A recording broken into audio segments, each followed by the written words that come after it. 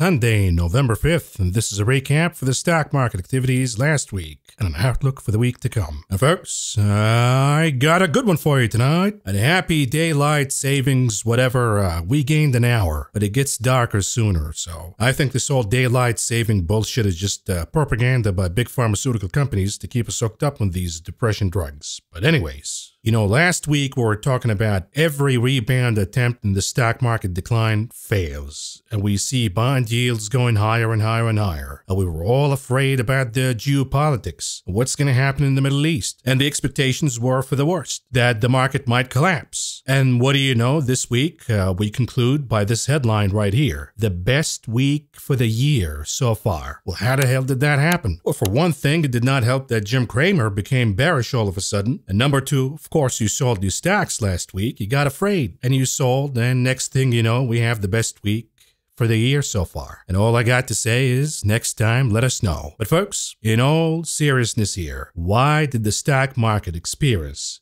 the best week for the year so far. Notice the major drop that we got this week in the 10 year Treasury yield. We know that the main catalyst for the declines in the stock market since the month of July is the rise in bond yields. So when we get a week where bond yields drop big, we see the opposite reaction. And understand this why would bond yields go down? The answer is the dip in bonds were bought. So bond prices went higher, yields went down. We'll explain why. We'll entertain the theories to figure out whether this is sustainable or not. Of course, the main argument would be well, we got the 5% in the 10 year yield. That seems to be a great deal. And a lot of folks bought bonds at that point to lock in the 5%. It's the best deal in town. Of course, not as good as uh, if you find a sugar daddy and uh, you get pregnant, then you got a bond for 18 years, and it pays you about a thousand percent. Ask Al Pacino. Dude got to pay $30,000 a month. Uh, and for what? Because she got a great.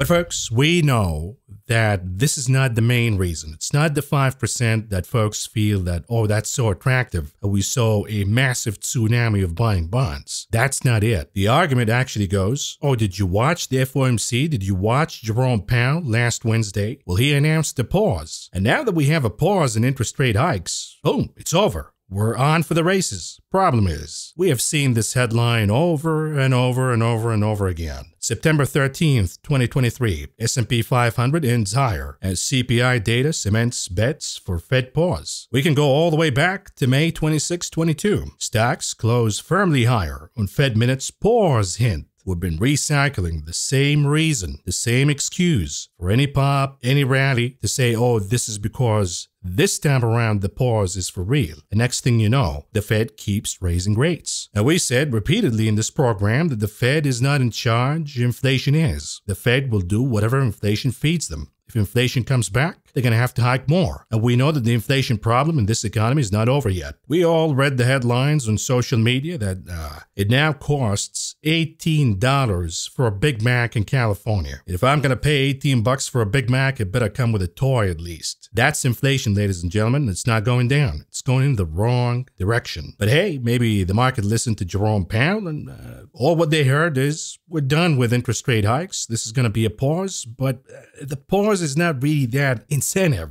for a major stock market rally. I think the market read it as, oh, cuts are coming next. And when we look at the surveys, 49% of respondents say that the next move by the Fed will be a cut. Matter of fact, in the aftermath of the FOMC, we see that expectations of rate cuts are surging higher. Now, in reality, not uh, wishful thinking land, did Mr. Powell of the Federal Reserve in the last FOMC announce that uh, he's pausing and uh, it's done? He's shutting the door on any new interest rate hikes and he's opening the door for rate cuts? Let's hear Jerome Powell in his own words. I, yeah, I mean, I, I, don't know that I want to just accept anybody's characterization of it. I'll, I'll tell you how we're doing this. So we're going meeting by meeting. We're asking ourselves whether we've achieved a stance of policy that is sufficiently restrictive to bring inflation down to 2% over time. That's the question we're asking. We're looking at the full range of economic data, including financial conditions and all of those things that we look at. And then we're, we're you know, we, we've, we've, we've come very far with this rate hiking cycle, very far. And you saw the spread at, at the September meeting of, you know, it's a relatively small spread of people think one or two additional hikes. So you're close to the to the end of the cycle. That's that was an impression as of a belief as of September. It's not a promise or a plan of the future. And so we're going into these meetings one by one. We're looking at the data. As for the committee, we are committed to achieving a stance of monetary policy that is sufficiently restrictive to bring inflation down to 2% over time. And we're not confident yet that we have achieved such a stance. So is it right to think of that as a, a hiking bias is still in the committee here? We haven't used that term, but y- y- it's fair to say that's the question we're asking is should we hike more?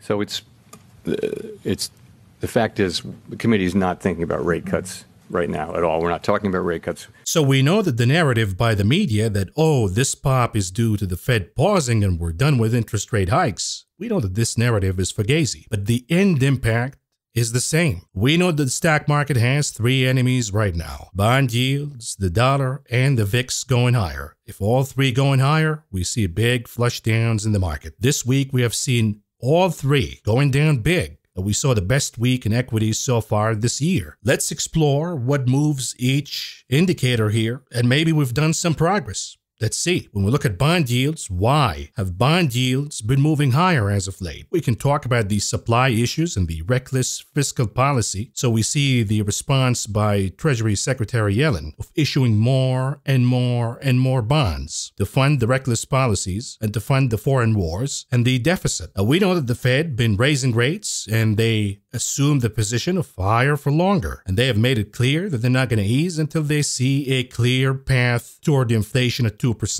Then we have the issue of the Bank of Japan. The Bank of Japan is seeing Japanese bond yields moving higher. So we see the Bank of Japan dumping US bonds. So prices go down, yields go higher to use that cash to buy Japanese bonds. And this has been adding the fuel to the fire in the rise in bond yields and the drop in the equities market. This week, the market assumes, at least appears to be, that one catalyst, one tailwind for bond yields to go higher is no longer here, which is the Fed is out of the picture. Even though we just explained to you by Jerome Powell's own words that the Fed is not out of the picture. The man said clearly that if it takes one rate hike and inflation merits that we add another rate hike, we'll do that. And we're not even thinking about rate cuts right now. Furthermore, we said it's all in the hands of inflation, not the Fed. And the recent economic data that we got, at least from the hot side of the economy, the employment cost index this week came out higher than expectations. When we look at home prices, according to the Case Shiller Index, they went higher for the sixth month in a row. So inflation is still here. How could we assume that the Fed is out of the picture? How could we assume that we have a peak in interest rates? Even uh, lead banker Jamie Dimon says that he suspects the Fed is not done with interest rate hikes just hours after Powell hit the pause again. So the top banker in the country says, yeah, we're going to see more Fed action and rates are going higher. Even according to the same survey, where responders say that uh, perhaps the next step is rate cuts, 48.8% say that yields will go higher from this point on, but not higher than 5.5%. So the path is still for higher rates. Yet for now, we play what the market is assuming. We'll roll with it, no problem here. If the market wants to assume that the Fed and Jerome Powell are out of the picture and we have peak interest rates on bond yields, sure. We'll play that game. What about the dollar, though? We know that the Dixie been going higher because other central banks, namely the ECB and the Bank of Japan, haven't been restrictive with the monetary policy, and therefore this allows the euro and the yen to go down and for the dollar to appreciate in value. Number two, we know that because of inflation, we see quantitative easing, meaning reducing the money supply. If you're going to reduce the supply of dollars, the value is going to go higher. This week, we have seen that the dollar went down.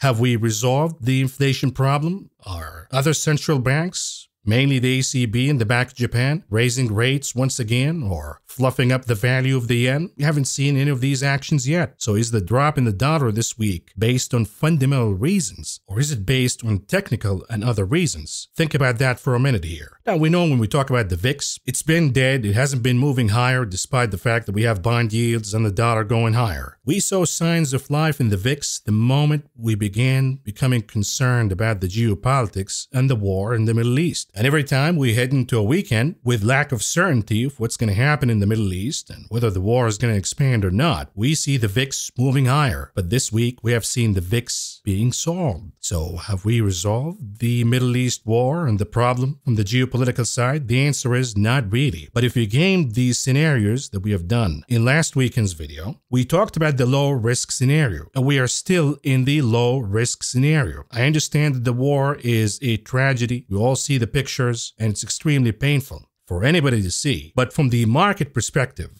it's not going to be concerned unless we have an expansion of the war, where we see the prices of commodities increasing, namely oil. And there was a lot of fear that perhaps on the northern borders of Israel, we will see another front being opened in an expandable way by the involvement of Hezbollah. Well, we got the speech on Friday, and it was not a declaration of war as I anticipated, but it kept the possibilities open for an escalation or even war. And this will keep the VIX alive, that it could come back the moment we see things escalating again. And for now, according to the IDF, the operation is limited to the northern part. It's not a full invasion yet. So for now, the market looks at this as this is the low risk scenario. We haven't moved to the mid risk scenario, and therefore maybe we don't need the VIX anymore. Maybe we don't need the puts anymore. Now, you and me can disagree with the market decisions, but at the end of the day, the market looked at the facts and decided that we are not moving from low risk to high risk. So I'm going to unwind some of these uh, hedges uh, in terms of puts and betting for downside coming to the market based on the geopolitics alone. And therefore, we know why the VIX went down this week.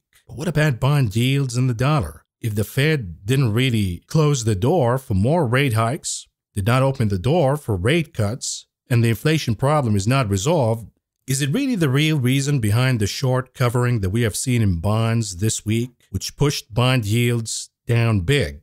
And the algorithms, in the stock market reacted by buying equities? I would say absolutely not. And the risk for bond yields to go higher again is extremely high. And therefore, we go back uh, to a couple of weeks ago when we read the headlines that investor Snake Bill Ackman covered his short bet on the 30 year bond. And we saw immediately that the 30 year bond moved higher while yields went down. And then we got the news midweek that short sellers who made a fortune in the third quarter are beginning to close their bets, meaning covering their shorts. And this is the data before the FOMC. The total short interest in US and Canadian stocks dropped by nearly $66 billion at the end of October to 871 billion, according to S3 Partners. Short sellers have gotten an early Christmas present in the third quarter. From here, Traders are not building up new positions as they don't want to lose what they've made already. This is the real reason behind the drop in bond yields this week, which triggered the best stock market rally this year so far. Short covering, booking profits from both bond and equities short sellers. Why would they do that though? Specifically in bonds, because when bonds are bought because of short covering, we see that yields go down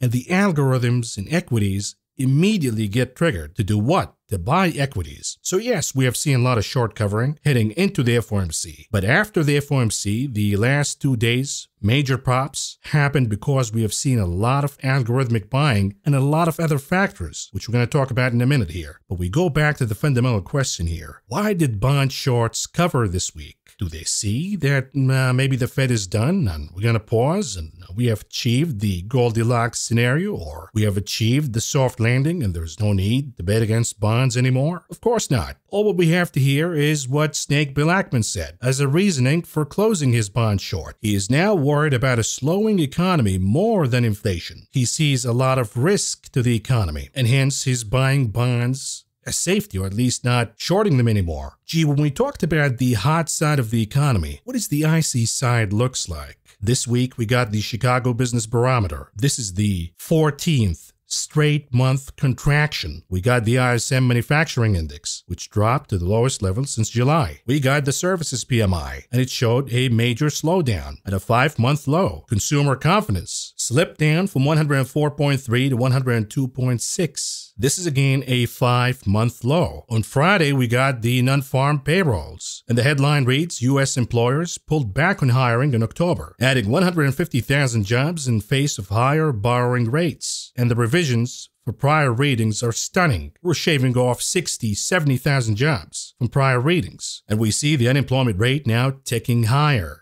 Uh, we know the moment the Fed raises rates and we see rates going higher for longer, as long as we've seen them so far, you're going to see some major damage in the economy. And usually the trouble begins when we see the unemployment rate moving higher. and we see that the yield curve is re-steepening from inversion, which we see right now. And of course, we know that the much accurate and less manipulated household survey shows that employment collapsed by 348,000. This is the biggest drop since the thing shut down. In other words, when we revisit the question, why did the short sellers cover their bond shorts this week? The answer becomes they see a recession here. They see that this is the beginning of the recession. And maybe we have seen the peak in bond yields. Maybe we've seen the bottom in bond prices, but not for the good reasons. Not for the Goldilocks bullshit, not for the soft landing crap. We're doing so for the wrong reasons because the economy is now slipping into a recession. Would that be good for corporate earnings? Would that be good for stocks? Think about that for a minute here. While you do that, let's formulate the strategy for this week because last week's strategy, and I issued this on Discord immediately after the FOMC on Wednesday, the 1st of November. The strategy was buying the SPY 420 puts with the expiration date of next week, meaning November 10th, and then buying the TNA 24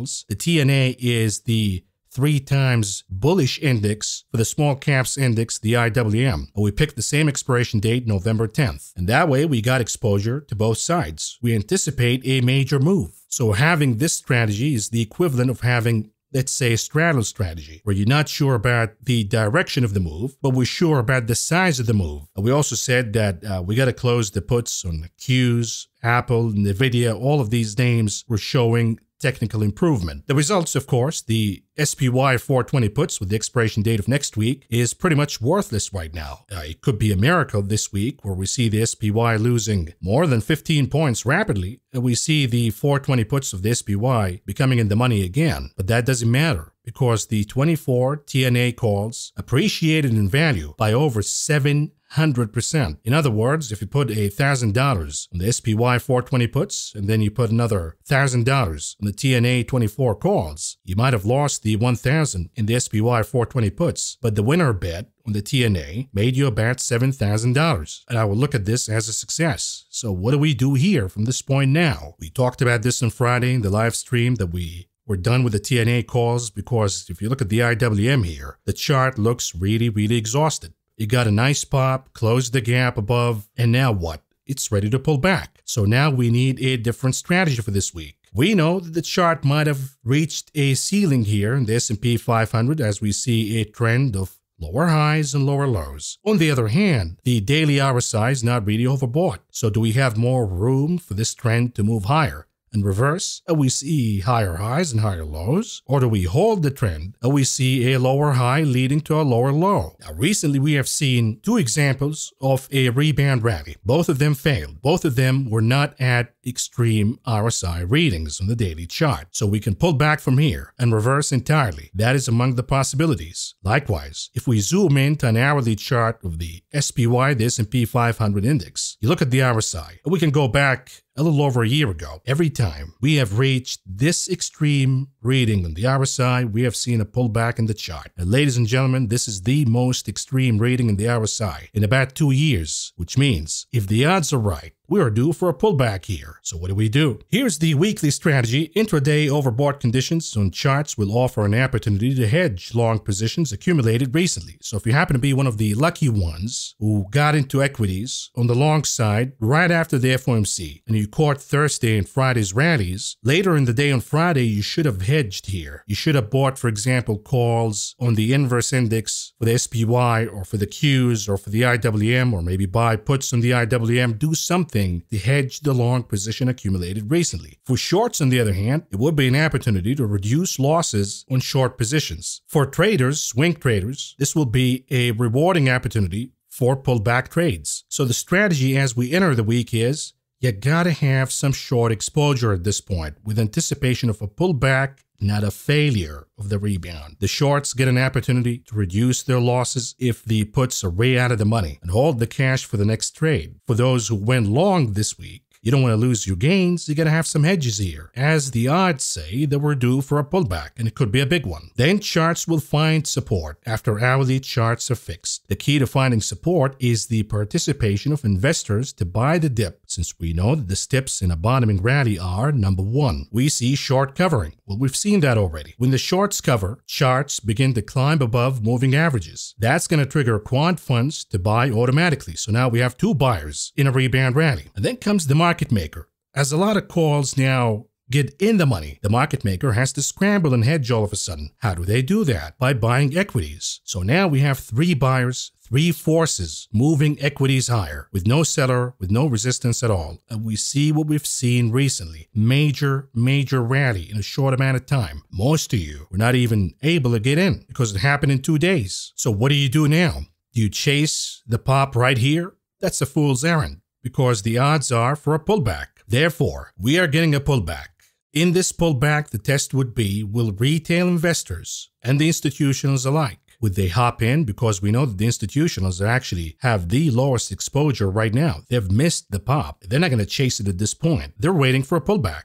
If the pullback happens, would they put their money where their mouth is and buy the dip Will you do the same? And if we all do the same, or we get a rebound, so far so good. If dip buying is successful, we must confirm that by the charts of bond yields and the dollar index. We need to see that these two charts are trending down, not up, because the key to keeping the October lows in the stock market is the 10-year yield not going back to 5%. If it goes back to 5%, the October lows will open like a floodgate. So we have to have a confirmation here by both bond yields and the dollar. If confirmed, then we should concentrate on going long small caps, because these are the most oversold and more likely to be covered by shorts. And of course, dollar and yield sensitive stocks. Dollar sensitive stocks, that could be metals, of course. Yield sensitive stocks could be dividend paying stocks or certain risk on stocks within the technology sector. However, if finding support fails, you must enter short positions with the assumption that the pattern of lower highs and lower lows on the charts, we're talking about the daily chart of the indices, SPY, Qs, IWM, we will assume that this pattern will persist. In other words, we're going to be shorting looking for a lower low. And of course, the confirmation would be what are bond yields doing? Are they heading back to 5%? Okay, got a confirmation to be short now. Is the dollar rebounding and moving higher again? Another confirmation. So this is going to be the strategy for this week. We get a pullback,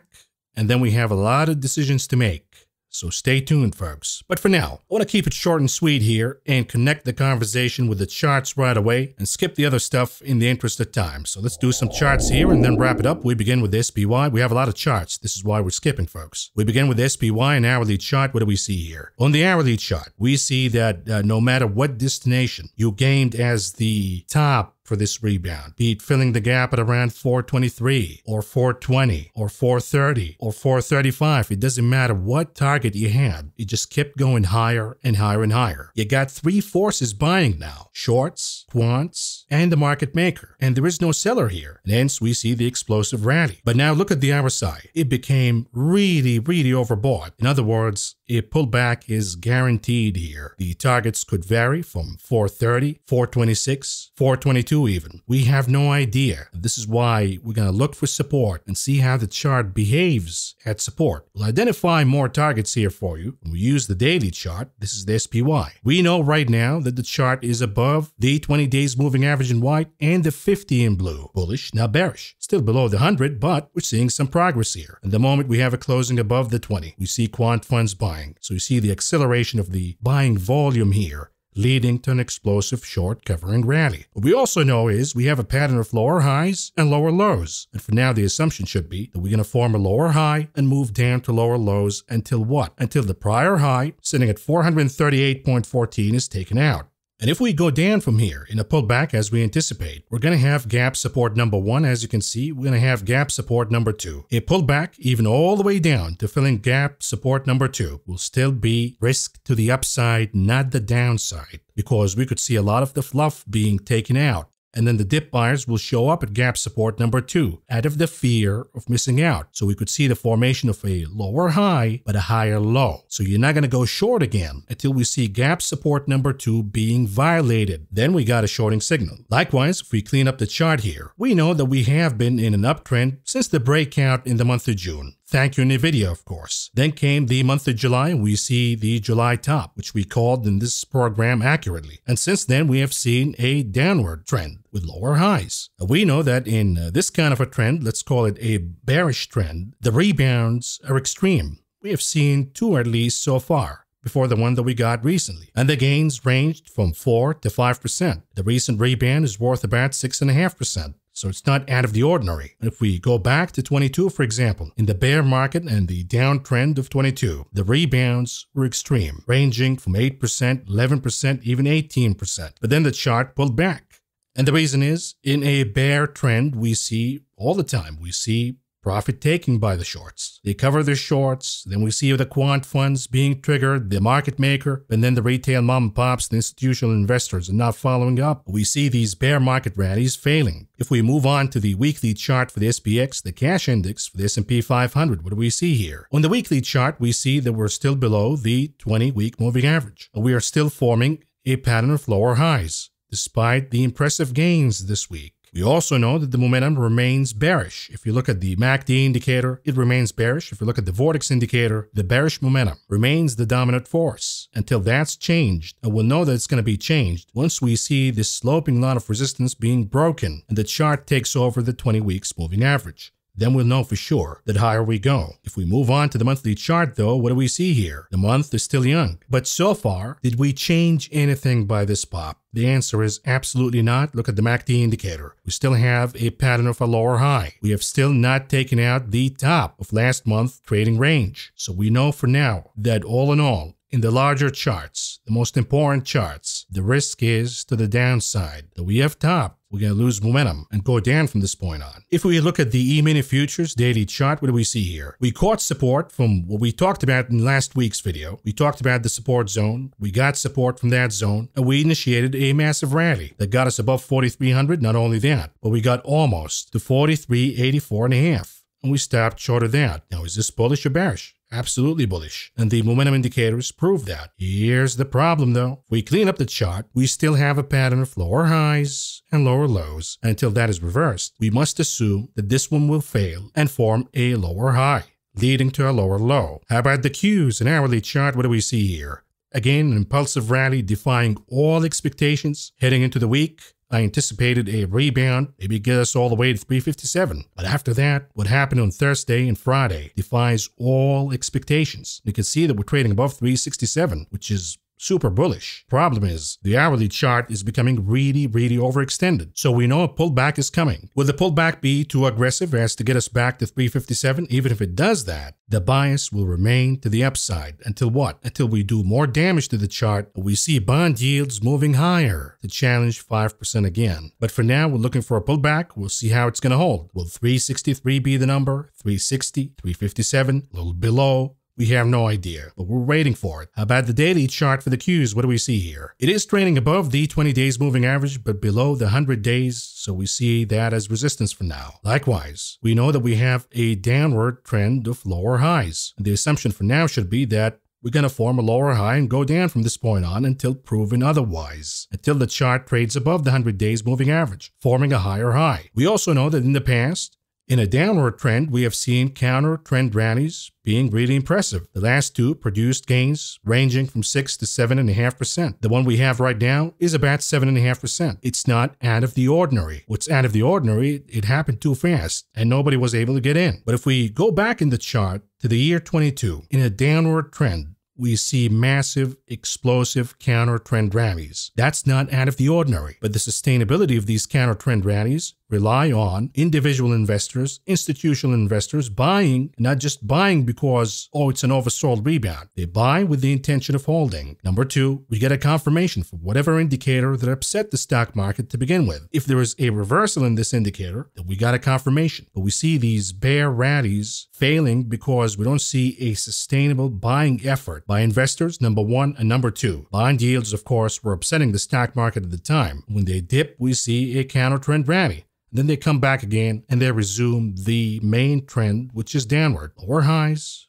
and lower lows. If we look at the NDX, the NASDAQ 100 weekly chart, what do we see here? Last week, we talked about a bear flag. It played out. And this week, we see a reflex reaction. It got us above 15,000, which is bullish, not bearish. Here's the problem though. The rebound is still short of making a higher high, as you can see the sloping line of resistance here, is still short of closing above the 20 weeks moving average. Nice rebound, but did it change anything? The answer is absolutely not, at least not yet. There is the potential for it. If we plug in the vortex indicator, for example, we can get a confirmation of the blue line moving above the red, meaning bullish momentum taking over. And this could be just one giant bull flag consolidation pattern. That is entirely possible. But for now, the risk remains to the downside absent for closing above the 20 weeks moving moving average. If we look at the monthly chart for the NDX, what do we see here? We know that we have a lower high pattern. We know that the momentum weakened dramatically. But is it over? For any bullish scenario? The answer, of course not. This could be a gigantic cup and handle pattern. Would I bet on it right now? Of course not, until we take the highs. For now, the assumption is the lower high will be the predominant pattern until proven otherwise. You look at the NASDAQ futures daily chart, what do we see here? We caught a rally this week and we closed above 15,000. Bullish or bearish? The answer is bullish. But does it reverse the bearish overall pattern? The answer is not quite, at least not yet. We clean up the chart, we still have a pattern of lower highs and lower lows. The pattern will be broken once we trade above 15,468.75. If we look at the small caps index, the IWM, what do we see here? We talked about how attractive it looked last week, holding 162.5, and we could see a big rally and this is why we picked the IWM as the number one pick on the long exposure, and it paid off. We got all the way to 175.45 almost. And now what? Is the chart overbought in the daily? Of course not. Problem is, if we zoom into the hourly chart, we are really overbought here. We have reached the resistance of 175.45. Expectations pulled back. If it holds, it would be a buyable opportunity because we'll make higher highs. And the reason is, even if we have a severe pullback here, let's say to closing the gap at 170 almost, 169-ish, then rebound, then this could be a one big cup and handle pattern. So we'll keep an eye on that. About the Dixie, the chart of the dollar, daily chart, what do we see here? We know that we have strong downward momentum. Problem is we see it extended below the lower Bollinger Bands, from which before we have seen rebounds. What if the dollar rebounds big this week? That would be upsetting to the stock market. But then what? Suppose the dollar rebounds, equities pull back. What happens after that? If the dollar continues to rally? In that case, we have to be short. If the dollar pulls back again, be confirmation that we should be buying the dip in equities. Weekly chart for the dollar, what does it say here? If we use Fibonacci's levels, it shows that we have lost an important support, but we're not at a reversal yet. We still have support below, and we have no confirmation that the dollar is done here. We do have a confirmation that the dollar is getting weaker, but that's all there is. So when we look at the old man gold, the daily chart, what do we do here? It appears that we have a pattern of consolidation of higher highs and higher lows, although the momentum on the daily chart is getting a little overextended. So breaking the pattern and then breaking 19 62 and a half would be a confirmation that gold is heading down. But if we look at the weekly chart here, what do we see? We see that the chart is bullish, maybe a little overextended here at the top of the Bollinger Bands. So sure, we're going to pull back Absolutely no problem here. But you look at the formation of the RSI, you look at the MACD giving us a confirmation of bullish momentum. So does the Vortex indicator for now, the pullbacks in gold are buyable. And remember this maybe puts were taken off the table this week because we haven't seen a major escalation in the Middle East war, meaning more players joining the battlefield. We haven't seen that yet, so we saw a lot of these puts being taken off. But it doesn't mean that investors' posture, all in all, is risk on. Otherwise, we would have seen a massive pullback in gold, which again tells you that the retail mom and pop investors, a lot of the institutional side, are not really buying this rebound. They missed it. It happened too fast. But maybe they're not really interested in chasing it. And it could be a bad sign that once we pull back, these type of investors are not going to come back and buy the dip in equities. Why? Because they're sticking to gold. They did not sell gold. In other words, part of the confirmation that the pullback in equities will be bought by dip buyers and will lead us higher can be confirmed by not just bond yields or the dollar, but also the chart of gold. If we see gold pulling back, then we know that money's coming out of gold and chasing the dip in equities. Otherwise, it could be a warning sign that if equities dip, the dip might lead to a sell off, not a rebound. SLV Silver daily chart, what do we see here? Holding above the 20 days moving average, but short of the 200 MA and short of 21.45. So for now, you stick with it. If we lose the 20 days moving average, then get out. If we look at UK oil, Brent oil, what do we see here? Bad news. Bear flag played out. Bad news number two. We're still below the 20 days moving average. Good news. We're above 85. We're holding that as support. So oil bulls are not without hope. But let's be honest here it doesn't look pretty good. If this war remains limited and we continue to get bad economic data, slowdown in jobs, maybe more layoff beginning to show up, then oil will go down. If we look at the weekly chart for Brent, what do we see here? It is holding by a thread right now. It might lose the 20 weekly moving average for good, confirming that we have an inverse ABC pattern. You look at the weekly RSI and negative divergence, you look at the Weekly MACD, the bullish momentum is about to lose steam here and become bearish. And the Vortex indicator is also telling us that we have risk of oil turning bearish from being bullish since the month of July. And by the way, this support the stock market. So if you see oil going down, I think that's going to support the stock market. The problem is if oil goes down by a lot, if oil has a recession panic, that would not be good for equities. So if we look at the XLE here, which is energy stocks, the ETF for that, is it better now than the commodity? The answer is it won't make a difference. It is still below the 20 moving average. And if we see the price of crude going down, energy stocks will follow through. So for now, we're not a buyer of the XLE until we see it closing above the 20 days moving average. How about the USO, which tracks the commodity? Maybe looking a little better here, holding on to the Fibonacci support, holding on to a downward trending channel, but keeping the lows static. In other words, there is risk here that we could see a pop and a move higher in the USO, but losing this Fibonacci line will indicate that we have lower lows to come, and perhaps the bullish story in oil is over now. So it is at a critical line, critical level here. We need a move coming this week, a decisive one, and with the geopolitical risk remains intact, this move could be higher. I would not be surprised to see that. If we look at uh, refiners, on the other hand, which I see as more favorable right now, a lot of energy stocks but we have to wait for confirmation. And the reason is we're flirting with the 20 days moving average. Got it on Thursday, lost it Friday. We need a conclusive move here. Are we going to be above or below? If the answer is above, then we should be buyers of names such as VLO and the refiners. But another thing we have to watch for is if oil prices go down, but the gasoline RBOB futures move higher or hold static, then the margins for refiners will improve. So we need confirmations from the fundamentals and a confirmation from the technical side to say the VLO is a buy or not. If we look at the US two year yield, what do we see here? It has broken a downward channel and it lost support at 4.874 basis points. So we know that at least for now, we're making lower lows we have made perhaps a lower high. Yields are going down. Equities like it. Is it going to be going down for the wrong reasons or not? That's an important question. Another one. Is the market overreacting?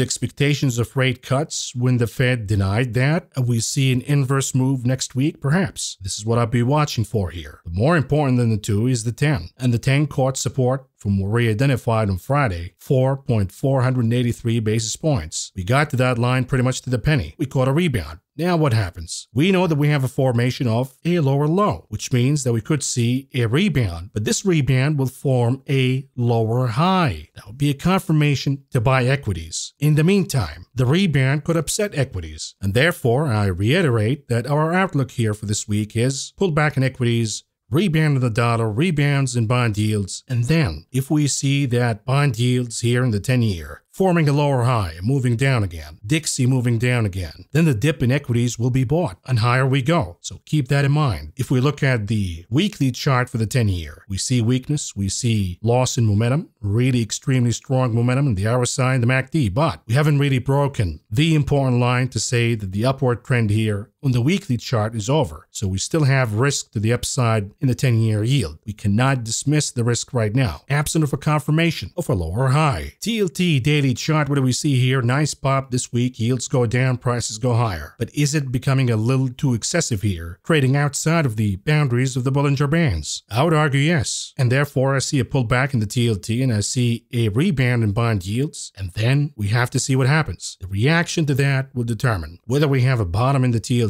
or not, whether we should be buying the TLT or not. And therefore, for now, if we look at yield sensitive sectors and ETFs such as the XHB, the Home Builders ETF, massive Massive rebound this week as we see bond yields going down. But we have now reached the top of the Bollinger Bands. If yields rebound as anticipate, we will see a sharp pullback here in the XHB. If the chart keeps the 20 days moving average, the dip could be viable. If it loses the 20 days moving average, forget about it. It was a trap and down we go from here, as the weekly chart suggests, by the way. And on the hourly chart, look at this. We have two supports, Gap support number one, that could be a downside of about 2.5%. Gap support number two could be down or about 4.5%. But if we see the buyers showing up, we could still see a cup and handle formation. If we lose that support, the last gap support, and the 20 MA, then we got a problem. This was a trap and down we go from here. If we look at the XLU utilities daily chart, what do we see here? Trading outside of the Bollinger Bands, so we're waiting for a pullback.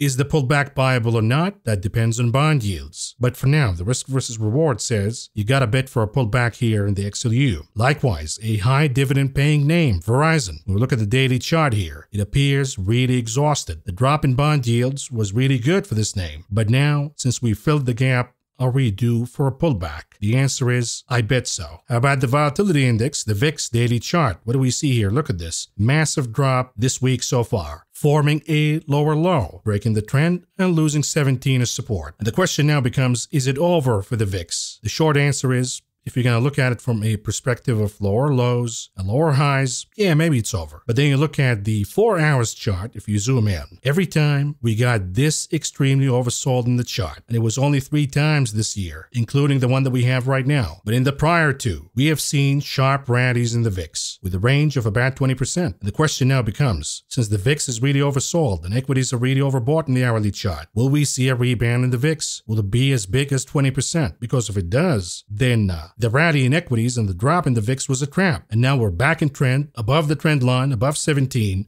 And maybe we're going to go higher and challenge 20 again. So this is what I'm watching for. Will fixing the oversold conditions in the VIX and fixing the overbought conditions in equities be benign, leading to a mere pullback and a rebound in the VIX? Pullback in equities, meaning, and a rebound in the VIX, and then the VIX goes down? Equities find buyers and go higher, then no harm done. What if they're not benign though? What if we see the VIX surging higher by 20%? What if we see equities, the SPY, the Qs, dropping sharply by more than 2.5%, 3%? Then the action was a trap this week. But for now, we have no confirmation of that. We also have no confirmation in the weekly chart. The VIX is now bearish. If you look at the Vortex indicator, if you look at the MACD indicator, they're all showing positive momentum. They happen to be lagging indicators, but we use them that way to be conservative. Before assuming that a trend is over, we need a lagging indicator here, not to make decisions until we have confirmations that these trends are indeed reversing. And for now, we have no confirmations of that happening. Big Kahuna, Apple, hourly chart, what do we see here? The report was not good.